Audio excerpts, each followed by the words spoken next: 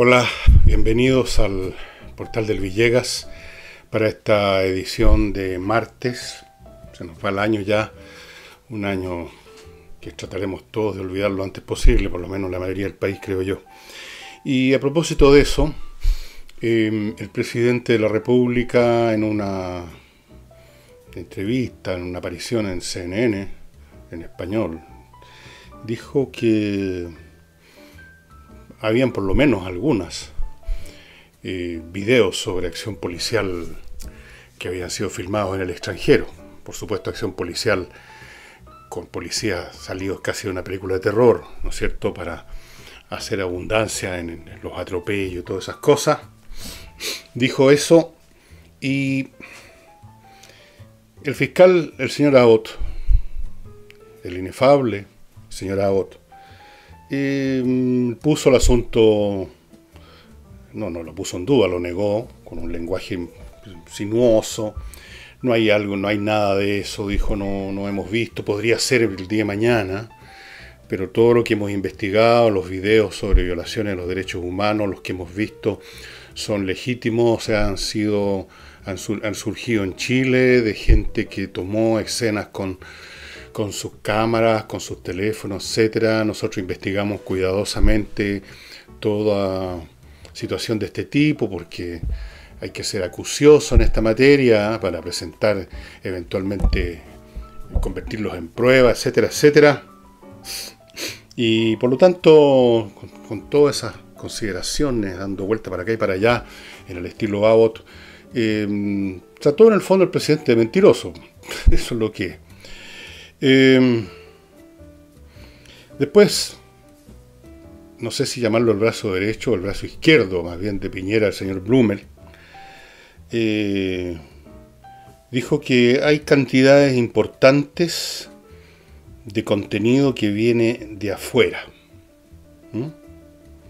Pero, agregó, eso no constituye una realidad jurídica.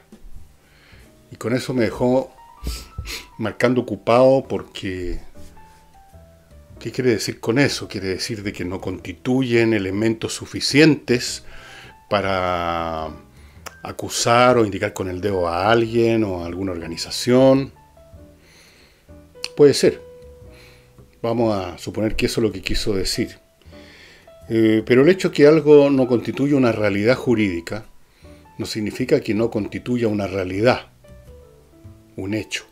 Un hecho atestiguado, visto, fotografiado, un hecho, una cosa que ocurre, puede ser efectivamente no suficiente para constituirse en realidad jurídica en el sentido de qué es lo que exige el aparato de la justicia para calificar un testimonio sobre un hecho como prueba. Pero esto lo hemos visto muchas veces ya en Chile. Eh, es un hecho, un hecho de que hay manifestaciones, han habido muchas, de hecho casi no hay ninguna que no sea así, que terminan y a veces empiezan con actos de violencia, hechos que han sido filmados por los reporteros de la televisión, hay fotografías, pero esos hechos, cuando la policía lleva a un tipo que sacaron de ese montón de, de fulanos que estaban, por ejemplo, quemando algo, y lo llevan ante la justicia, inmediatamente puede aparecer un juez de garantía diciendo de que todo eso no constituye un hecho jurídico, porque ¿cómo saber si ese individuo en particular fue el que arrojó la Molotov por la ventana de un edificio? Estaba participando en el proceso, pero como la justicia opera sobre la base de individuos que cometen un, o presuntamente cometen un delito, eh, si no hay una prueba específica asociada con ese individuo, no existe la realidad jurídica en ese caso, y lo hemos visto mil veces, que el hecho brutal de un incendio, de un ataque, de lo que sea, se convierte jurídicamente en nada, porque según los fiscales, según los jueces de garantía, según los abogados, según de, la Defensoría de Derechos Humanos, según la asociación de esto, de lo demás allá, no constituyen realidades jurídicas. A mí no me cabe ni una duda que llegó material de afuera. Yo recuerdo haber visto uno, una filmación, donde aparecían unos carabineros eh, disparando una escopeta, pero a diestro y siniestro. Pero las imágenes me llamaron la atención porque en primer lugar el logo de carabinero que aparecía en el uniforme eh, era de un color distinto a la bandera chilena.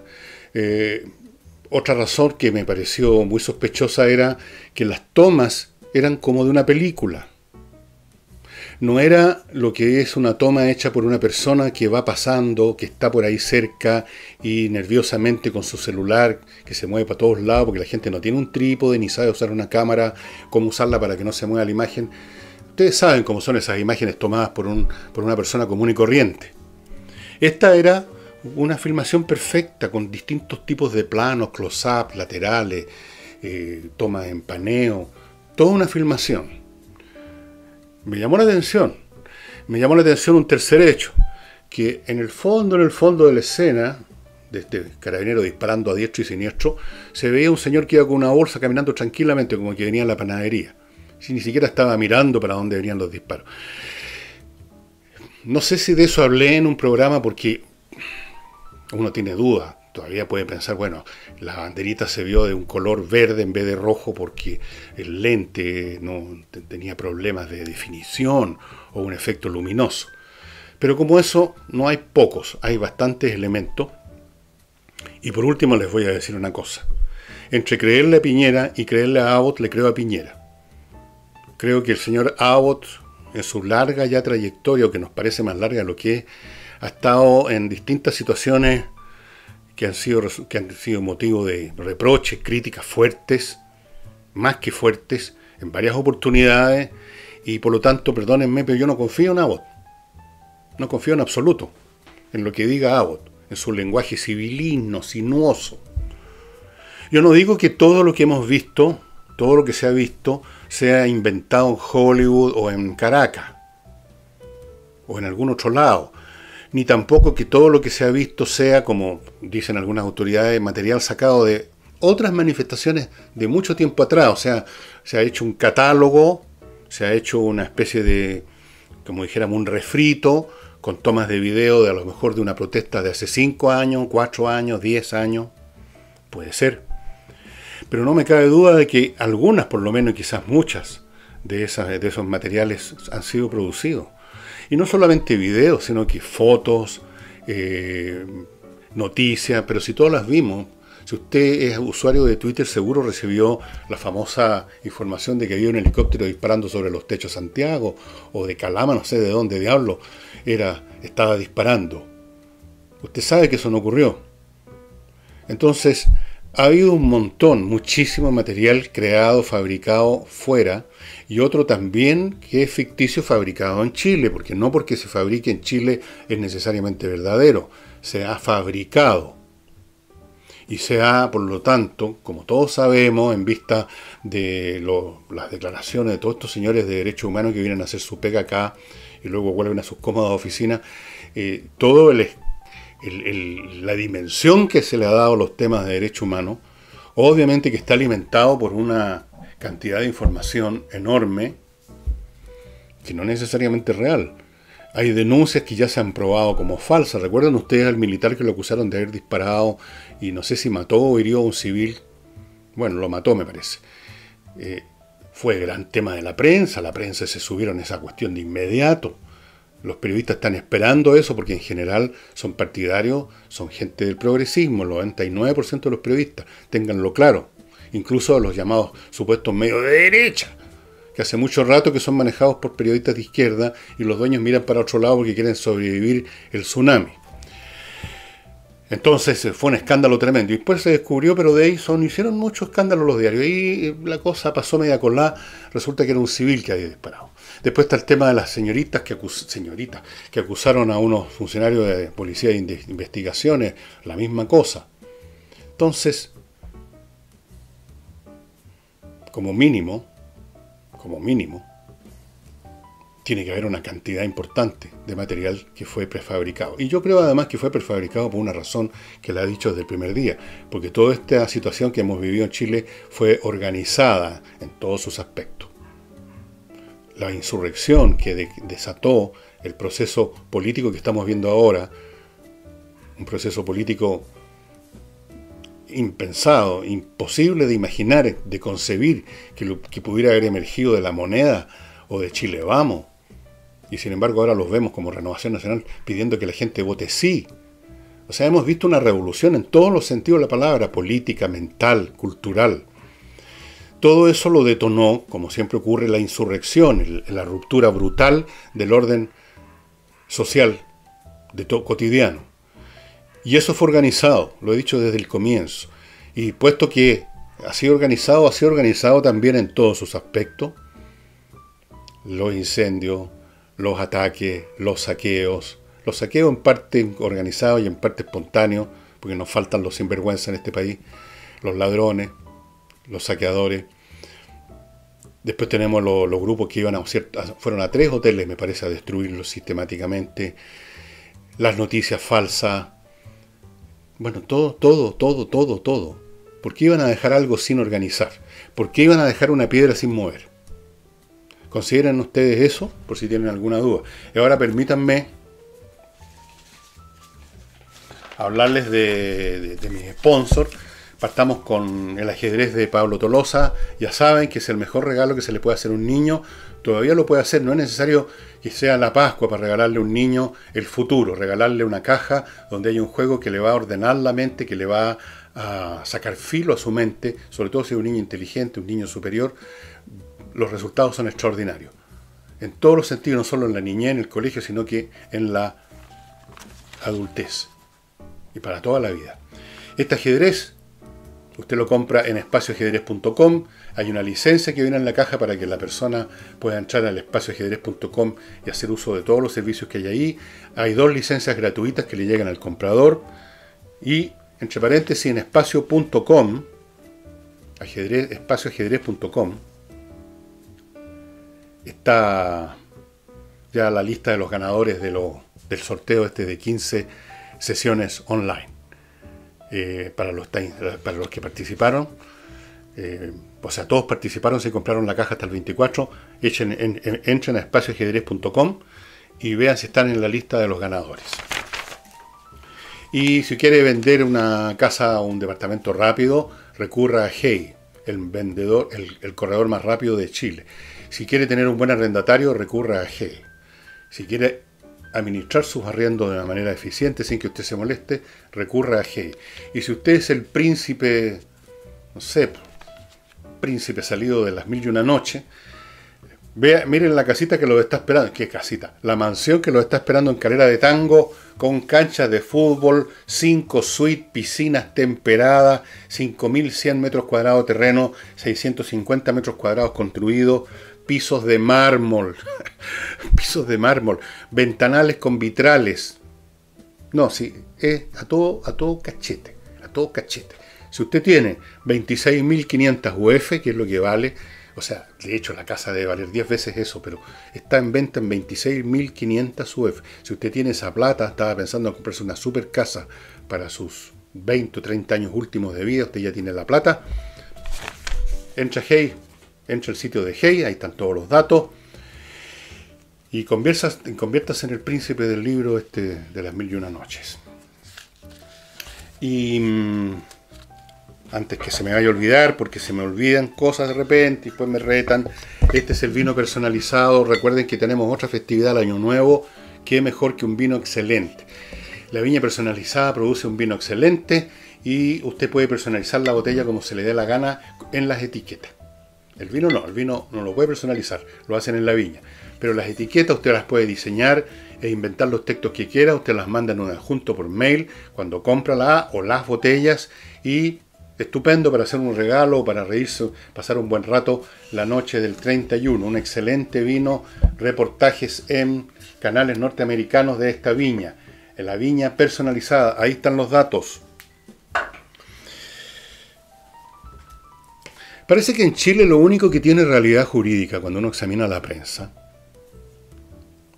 eh, es lo que ha hecho, o lo que se presume que ha hecho, la fuerza policial. Ayer mismo vi eh, una prisión preventiva para media docena de carabineros por supuesto atropello a los derechos humanos y cosas. Bueno, tal vez los atropellaron, o tal vez no.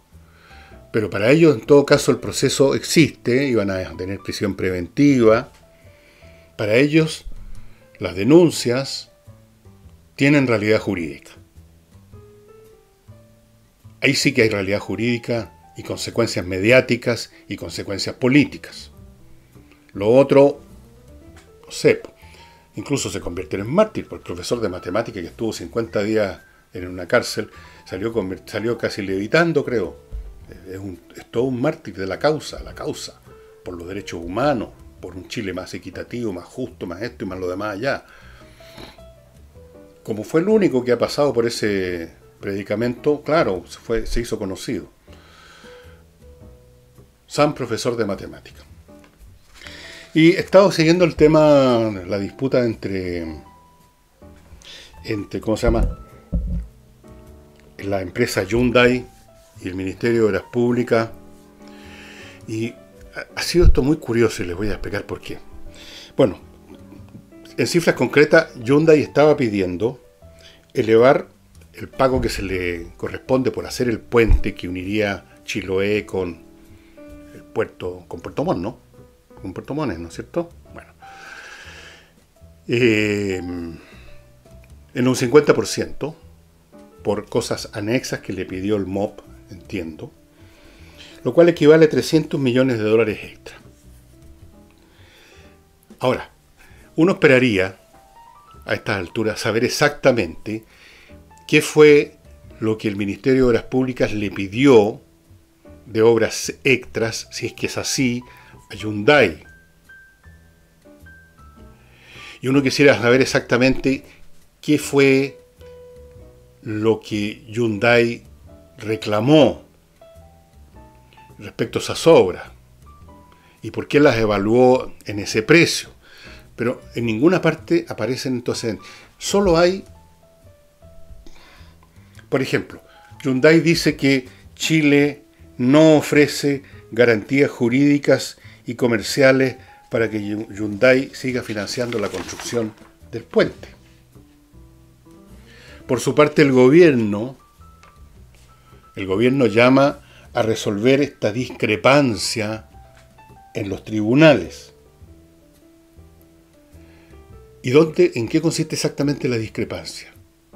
¿Cuáles son esas obras extras que se le habrían pedido si es que así ocurrió? ¿Por qué Hyundai está pidiendo este pago extra? ¿Por qué si ese pago extra tenía algún sentido? El MOP en su momento, estamos hablando del Ministerio de las Públicas durante el camarín Michel Bachelet, ¿no? Ahí empezó todo esto. ¿Por qué el MOP no, no contestó? No parece ser. Porque Hyundai agrega que el trato ha sido muy descortés con ellos. Entonces, muchos con recurrir a la justicia, que hubo descortesía, que no hay garantía jurídica, pero lo que no hay aquí es información.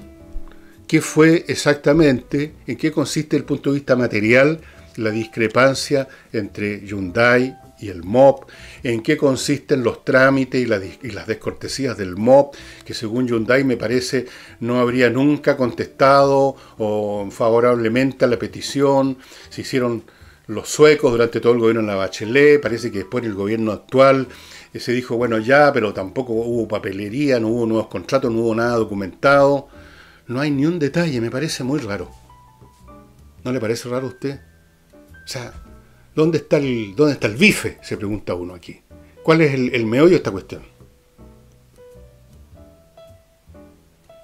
Con grave daño, si las cosas siguen así, para Chiloé, por supuesto, desde luego para los trabajadores que estaban en la obra de, que, se estaba haciendo de Hyundai, que eran auto.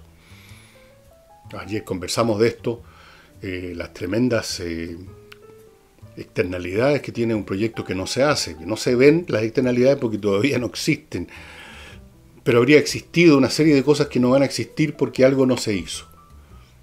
Y eso es tan real como un daño, como perder una pega ahora, es perder una pega que iba a tenerse mañana. El, daño eh, es menos notorio, es menos dramático, pero existe. Es un obstáculo más para el desarrollo de Chiloé. Dicho sea de paso, les quiero contar que yo no he ido mucho a Chiloé, un par de veces me parece, a una salmonera. Eh, en una ocasión me llevo al sur de Chiloé, hay unas salmoneras muy importantes. En una ocasión me fui volando, así que no, no vi mucho. Y en otra ocasión me fui por tierra y la vez que me fui por tierra me llamó la atención, me llamó la atención cuando pasaba eh, por lugares poblados, por me dio la impresión, pero quizás estoy equivocado, me dio la impresión que como que muchos chilotes o algunos chilotes no cuidan mucho su propia isla. Eh, no vi, vi muchas casas rodeadas no de árboles plantados o de, que, sino que de cosas que manifiesten cuidado, cariño por la tierra, sino que vi muchas casas rodeadas de restos de autos viejos, esos que usted ve, típico que ve, ¿no es cierto?, con gallinas picoteando adentro, neumáticos viejos. Me llamó la atención, me dio la impresión en esa oportunidad, tal vez fue mala suerte, tal vez justo me fui por la peor parte me dio la impresión de un poco de desidia.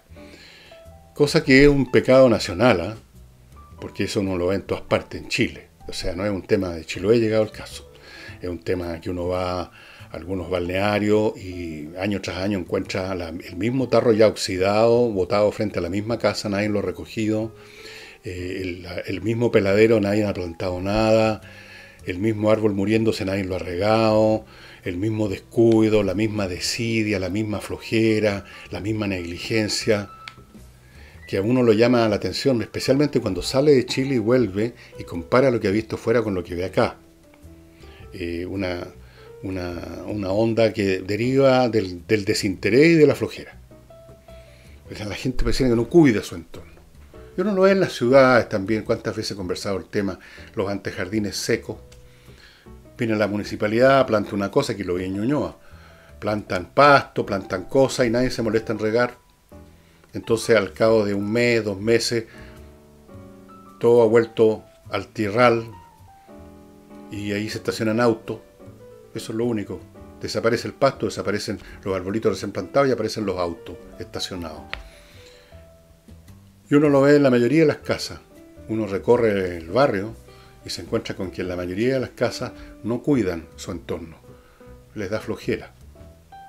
La flojera es uno de los pecados más mortales, es un pecado mortal de los chilenos. La simple y vulgar desidia, la flojera, el no molestarse, el no levantar el poto al asiento. Bueno, así que, pero esto es una anécdota, repito que no quiero que me asesinen la gente por Tomón, pero me dio esa impresión y lo conversé con una persona después a la vuelta en el transbordador. Me acuerdo que yo le comenté esto y me dijo que él tenía la misma impresión. Él era de ahí, de Chiloé. Tenía la misma impresión que la gente no cuidaba, que hablan mucho. Cuando, llega, cuando se trata de hablar, todos hablan mucho, porque este, la cultura latina es una cultura de cantinfla. Que el medio ambiente, que tenemos que cuidar nuestra isla, que. Pero en la práctica, en su entorno inmediato, que está al alcance de sus manos, parece que no es tanto la, la preocupación. Pero en fin, lo, dejémoslo ahí. No quiero que me maten los, los, chilotas. Simplemente lo que vino más, por la impresión que me dio. Y señoras y señores, recuerdo, todavía quedan, todavía quedan algunos de estos climatizadores nuevos, nuevos a precios ridículos en miclimo.com. ¿Quiere usted un verano dentro de su casa o su oficina a 18, 19, 20 grados, según lo que le guste a usted? O prefiere 35 grados dentro de su oficina o su casa. Elija. Quiere un invierno, si es que vamos a tener invierno, pero si tenemos invierno, quiere un invierno muerto de frío, yendo a la bomba a comprar parafina para prender unas estufas hediondas y peligrosas, o quiere tener el mismo climatizador que le refrescó en verano, dándole calorcito en invierno. Miclimo.com, los precios son para la risa, estimado amigo. Aprovechen la oferta. Si dicen que supieron de esto por mí, díganlo y van a recibir un descuentillo. Y si quiere aprender inglés de una vez por todas, entrena inglés, estimados amigos. Esta es la única academia en Chile que, cuyos profesores, que son profesores de verdad de inglés, van donde usted quiere hacerle clase, a su casa, a su oficina, donde sea, a la hora que usted pide. O sea, la clase más personalizada del mundo. Así se aprenden los idiomas, sobre todo si el que imparte la clase es un profesor de inglés, no simplemente alguien que sabe o cree que sabe inglés. Otro producto extraordinario es Notario Express. Ustedes están viendo el mono, en unos pocos minutos está todo listo, no tiene que estar sentado en un escaño de madera esperando turno. En pocos momentos usted llena en la página de notarioexpress.cl el documento que necesita, lo marca, le va a pedir ciertos datos, te lo llena, ta ta ta ta ta, send y ya. Y ya en pocos instantes va a estar listo el documento. Todo lo que usted tiene que hacer es, ya señor, su documento, venga a firmar y pague. Chao, buenas noches los pastores. ¿Qué más? Hay, hasta este momento que a mí me dieron los datos, habían 50 notarías en Chile que estaban asociadas al sistema, ya debe haber el doble, no sé, pero hay muchas. Y incluso el, servicio le va a decir cuál es la notaría más cercana a, su casa o donde usted está haciendo el proceso, si es que no está dentro de la misma notaría haciéndolo. Por supuesto que lo puede hacer ahí mismo. Y bueno, a mí me llama la atención entonces este, este tema de Hyundai Mop Todavía no, no, veo los detalles concretos de qué es, cuál es el meollo de la diferencia, por qué Hyundai está pidiendo 300 millones de dólares más, por qué el MOP se ha hecho el sueco y ha mirado para otro lado todo este rato. Obviamente será porque no consideran que sea correcto esa cantidad, pero me gustaría saber detalles, no, no los conozco. Em, continúan los despidos por razones de necesidad de la empresa. Se han juntado hasta la fecha, sumando noviembre y diciembre, que todavía no termina, 140.000 despidos por esa causa. Yo personalmente he conocido ya, conozco una empresa donde tuvieron que hacer eso. Bueno, también conozco personas que se están yendo de Chile, porque no, les tinca mucho lo que pueda venir eh, el próximo año acá. No les tinca mucho. Pero en realidad los despidos son mucho más que eso. Eh, los, los 140.000 son aquellos donde se ha, se ha alegado, la empresa ha alegado necesidades de la empresa. Pero sumando además otros despidos por otras razones, es más de medio millón de personas. Desde octubre, medio millón. ¿Por qué? Por la maldad de los explotadores. No, por lo que yo vi, de esta empresa que conozco.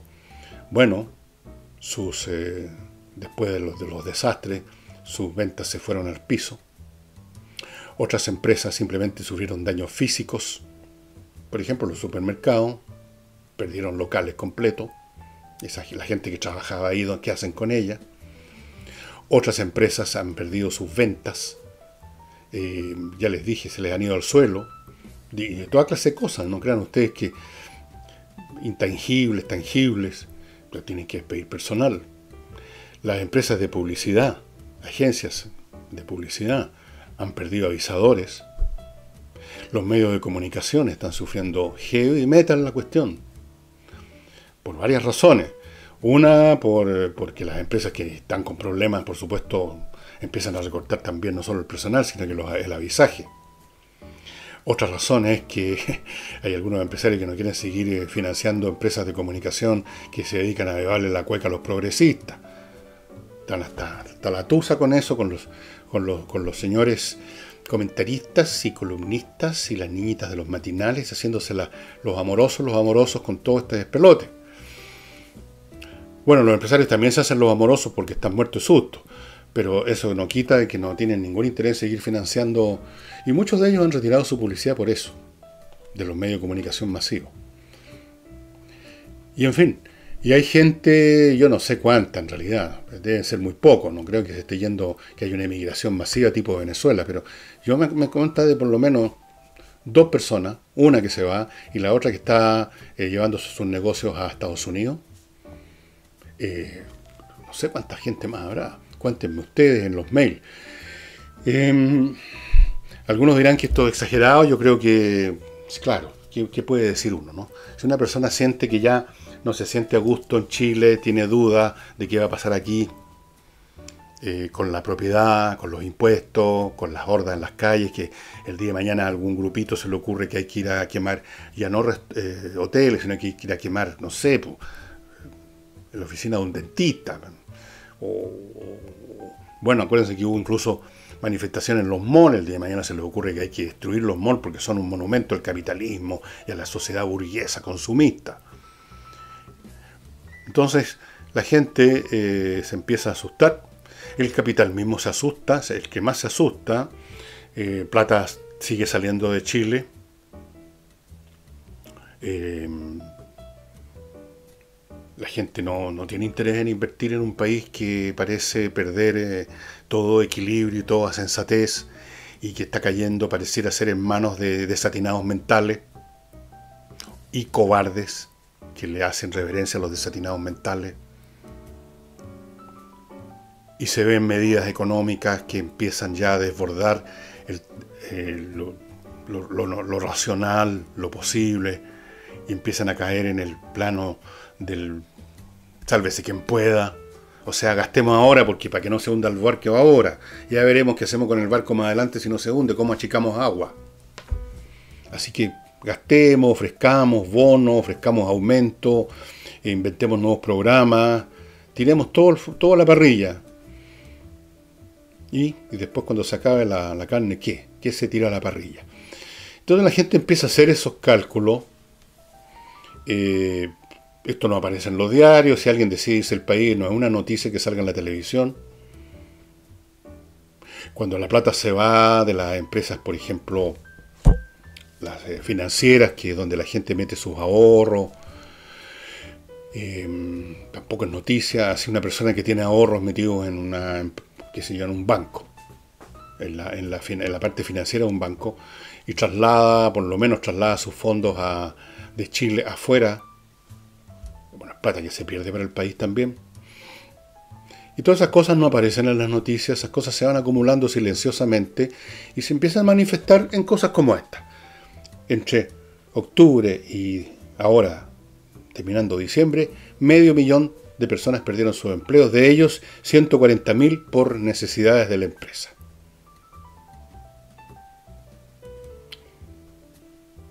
Eso es. Eh,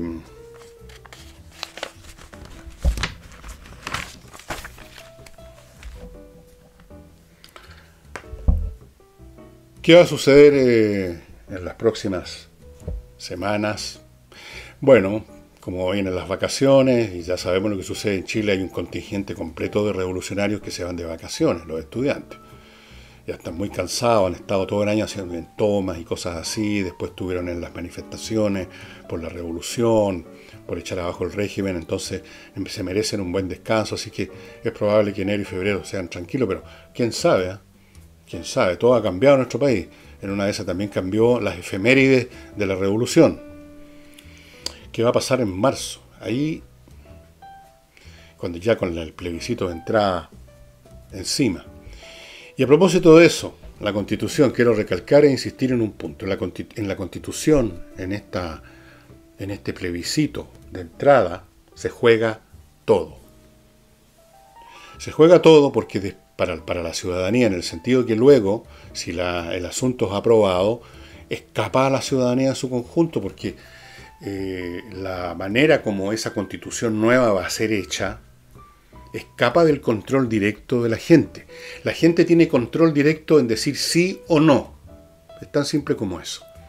Pero si se dice sí, se pierde el control, entra a funcionar alguna comisión o asamblea constituyente o convención constituyente donde participan personas que han sido elegidas pero que, están organizadas, van a participar congresales que ya fueron elegidos hace rato, van a participar grupos que están perfectamente eh, en acuerdo, en consenso de qué es lo que van a empujar y que por supuesto tienen mucho más fuerza argumentativa y de presión social y política que individuos aislados que lleguen ahí, va a escapar en gran parte del control de la ciudadanía en su conjunto.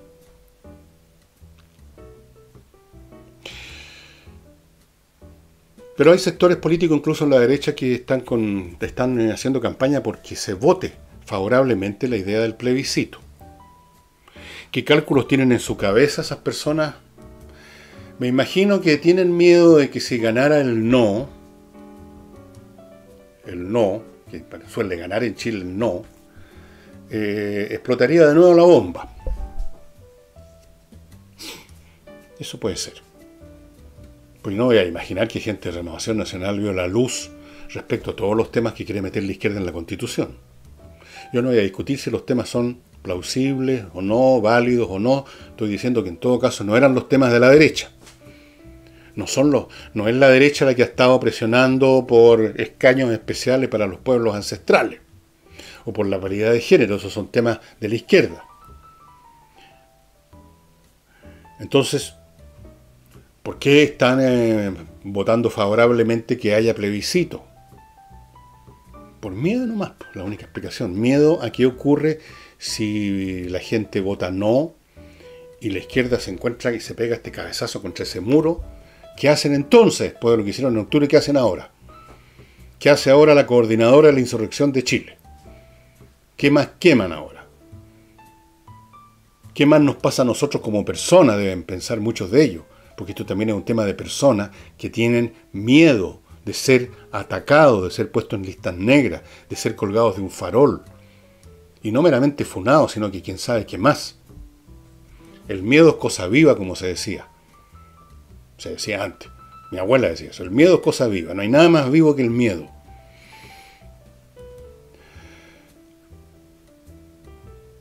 Ahora, yo he visto encuestas de todo tipo respecto a qué es lo que la gente realmente va a votar en abril.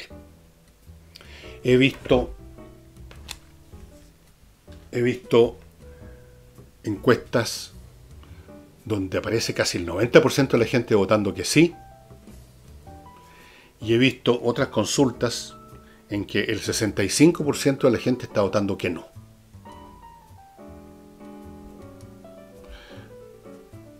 ¿Cuál es la válida? ¿Cuáles son las válidas? ¿Qué es lo que está pasando realmente por la mente de los ciudadanos chilenos que no están claros ya en esta materia? Evidentemente que la gente de izquierda, la gente que participó en todo este asunto, van a votar que sí, eso ya lo sabemos, pero a su vez, ¿cuánta gente de izquierda queda realmente en Chile? Hagamos la opción del ruido, de las manifestaciones, de juntar gente en las calles, porque todo eso, como les digo, eso no vale mucho. Cualquiera puede juntar mucha gente. Cualquiera puede llenar el espacio mediático, público, las calles con gente, con discurso, con consignas, con gritos. ¿Qué pasa en la mente de los demás, de los que no son de izquierda? Bueno, están por supuesto la derecha, la gente llama, lo de la derecha, que van a votar que no. Pero quién sabe cuántos van a votar que no en ese sector, si ya vemos que hay de Renovación Nacional están promoviendo el sí. Miren qué raro. Y luego está la gente, esos que se llaman a sí mismos independientes. Van a ser arrastrados por el miedo, como ocurre en votaciones, incluso votaciones que se supone que el voto es completamente anónimo, nadie lo conoce, sin embargo, igual hay gente que tiene la sensación que hay un ojo, un ojo omnímodo, como el ojo de Dios, que, que, que, lo ve todo. Y que por miedo, que se supiera alguna vez que votaron no, van a votar que sí. Y hay otros, al contrario, que dicen que van a votar que sí, dentro del sector de la izquierda, en sus familias de izquierda, en su, en su, ámbito de izquierda, y van a votar que no. Realmente es re difícil saber para dónde va a ir la cosa. Uno mismo, yo mismo, me hago el, el análisis siguiente. ¿Qué es lo que más le conviene al país? Es un tema complicado. Si votamos no, puede haber otro reventón, pero por, por otro lado, bueno, no podemos estarle haciendo el quita a los reventones, por último se tienen que enfrentar. Si votamos sí, no se trata simplemente de una reunión de jurisconsultos que vienen de otro planeta a, ver una constitución mejor que la que hay, una constitución nueva, no necesariamente es mejor. Esta constitución va a ser hecha, van a haber fuerzas poderosas empujando la constitución, no necesariamente eso es lo que podríamos considerar desde el punto de vista jurídico como mejor, sino que como mejor para la izquierda, mejor para los que quieren derribar el, el orden burgués, la sociedad capitalista y todos sus baluartes institucionales. Y a su vez eso depende de cómo va a ser generada, qué mecanismo específico va a generar esa constitución. Y los peligros que hay que ese mecanismo específico, como yo lo vengo advirtiendo, va a ser dominado por los que están más organizados, los que tienen ideas más claras y más fuertes acerca de lo que quieren. Esto no va a ser una cosa, una especie de jurado imparcial, de, así desapegado del mundo, que investiga qué es lo mejor esto es una lucha política, va a ser una lucha política, va a ser una lucha entre quienes quieren construir no simplemente otra constitución, una constitución nueva, sino que quieren construir otra sociedad entera, diferente. Y para eso la constitución es un medio porque determina el mecanismo institucional que es la verdadera base del poder en una sociedad. Cosa que algunos no, no, lo, no lo consideran, creen que esto son cosas de leguleyo. No, po. Depende cómo esté hecha la constitución, eso tiene efectos a veces muy rápido y otras veces más mediato, pero que afectan todo el curso de la, de la, vida de una nación. Como, es como un barco grande, un transatlántico. Usted gira el timón todo a estribor, pero igual el barco sigue largo rato, más o menos en el mismo curso, no, no vira así como quien vira una bicicleta, se toma su tiempo, hay una inercia se toma su tiempo, pero al final el curso que va a tomar esa embarcación es completamente distinto. Y lo mismo pasa con los mecanismos institucionales. ¿Qué es lo mejor? Votar sí, votar no.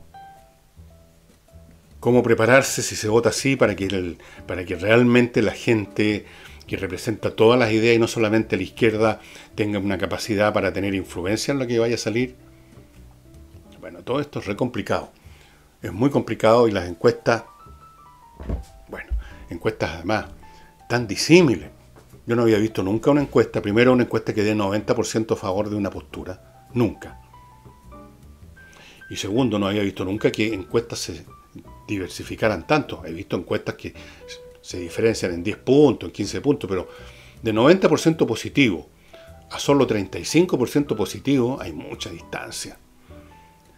En fin, vamos a ver eh, qué pasa. Em, les quiero recordar que mi libro Grandes Invitados está en mi página elvillegas.cl. Probablemente, estimados amigos, el programa, este segundo programa que, quiero hacer relativo al cine y que le voy a llegar también una sección del libro, una sugerencia de, una persona.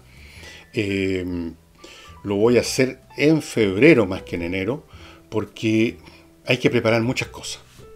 No es llegar y llevar. Hay que preparar un, nuevo programa que vaya a salir en YouTube. Requiere un montón de cosas y queremos hacerlo bien, no salir al lote.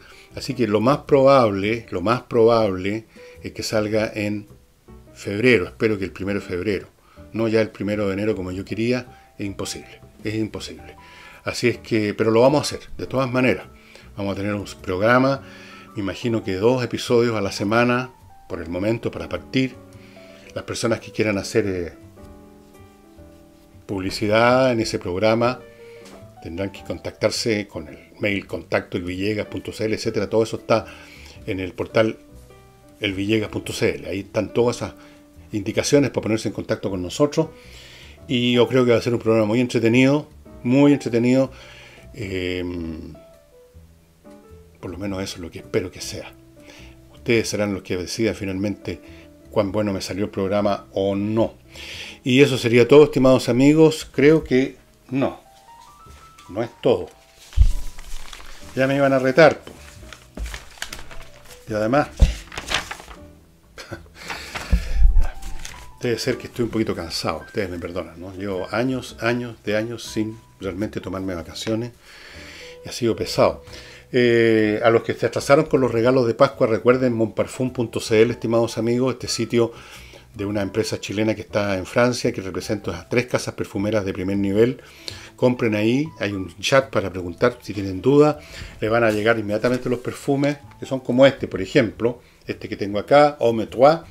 Le va a llegar de inmediato porque tienen un depósito acá. O usted puede ir a la Galería de los Anticuarios, donde tienen un negocio, Providencia 2348 Y si usted quiere que su restaurante pase a un nuevo nivel de atención, de control, de, coordinación interna, póngase en contacto con axonsoftware.cl. Ellos tienen un, un programa, Gastromanagement, que es fabuloso para simplemente poner a otro nivel su restaurante. Y hay otros productos de esta misma empresa para empresas que solo facturan, facturación electrónica, o supermercados, mini market y tiendas que quieran un mejor manejo del retail. Entren al sitio axonsoftware.cl y van a ver los detalles de, de esto. Les recuerdo el mejor detergente para la ropa que hay en este momento en Chile súper biodegradable, hipoalergénico, viene en este tanque que le he mostrado tantas veces que le dura una eternidad. Cuando se les está acabando, la firma les trae un tanque lleno, se llevan el, viejo, el tanque nunca va a dar al medio ambiente y se llevan todos los plásticos que, te quiere que se lleven, siempre que estén limpios. Perfecto. Y, y, y, y si tiene una empresa con problemas administrativos, o sea, todas las empresas lo tienen, póngase en manos de Controller, una empresa hecha para resolver esos temas, fundada, organizada y manejada por contadores auditores con 20 años de experiencia en empresas internacionales. Si su empresa es pequeña, mediana o grande, da lo mismo, póngase en contacto con ellos, tienen soluciones para todo tipo de empresas. Me empieza el año 20 con una empresa funcionando tiki-taka. Y mm, Volviendo al tema del principio, que para mí es súper importante porque yo soy de la tesis, que bueno, soy el único, eh, eh, es una tesis que comparto, parece, con el señor Almagro de la OEA, la comparto con, o sea, con cualquier persona pensante, de que aquí en Chile hubo un asunto completamente organizado. Así que el tema de las fake news, de los videos falsos, de las películas hechas con, con tomas así profesionales, con cámaras profesionales, Em, no, no es un cuento de hada, por mucho que el señor Abbott se pretenda, eh, como ha hecho tantas veces ya el señor Abbott, quitarle peso a, esas, situaciones. El señor Abbott ya conocemos cuáles son sus inclinaciones políticas, cuál es su agenda, así es que, con todo respeto, señor Abbott, si acaso usted por casualidad ve este programa o alguien lo, le, cuenta, ¿no? que estoy refiriendo a usted, yo simplemente no tengo mucha confianza en su gestión. ¿Qué quiere que le diga? Esa es la realidad. O sea, ¿quién le tiene confianza? Porque por ahora que estoy recordando, el señor Abbott ha estado puesto en la picota de los acusados y de los, sospechados hace rato, a raíz de, muchos temas, cuando estaban los temas de estas personas responsables por situaciones de dinero en el gobierno nacional Miguel Bachelet, cuando muchos políticos estaban, claramente metidos en el asunto, y cómo bueno, se, produjeron una serie de situaciones que usted puede repasar. Y entonces, yo, perdóneme, señor Abbott, pero yo le creo más a Piñera. Si es por creerle a uno, le creo más a él. Simplemente. Eso es todo. Con todo, con todo respeto. Con todo respeto. Y mm, no sé en cuántos fiscales incluso le creen a usted, de su propia oficina. Ya, supongo que no me está viendo de todas maneras y supongo que a nadie le importa lo que yo diga sobre eh, a quién le creo más o a quién le creo menos. En fin, eso sería todo, estimados amigos. No sé exactamente qué voy a tenerles para el sábado. Algunos me han pedido que hable de la batalla de Waterloo. La, otra, la vez pasada hablé de la batalla de Kursk. Muchos no la conocían. Waterloo todo el mundo sabe que fue una batalla, por lo menos eso todo el mundo sabe, pero no tienen mucha claridad acerca de cómo se, combatió y de cuán cerca estuvieron, tuvo Napoleón de haberla ganado. Como dijo el propio Wellington, eh, it was a very near run thing. Fue una cosa que se corrió, una carrera que se ganó por nariz, por así decirlo. Bueno, vamos a ver si les ofrezco Waterloo o alguna cosa más interesante que se me pueda ocurrir de aquí al sábado. Muchas gracias y será hasta entonces.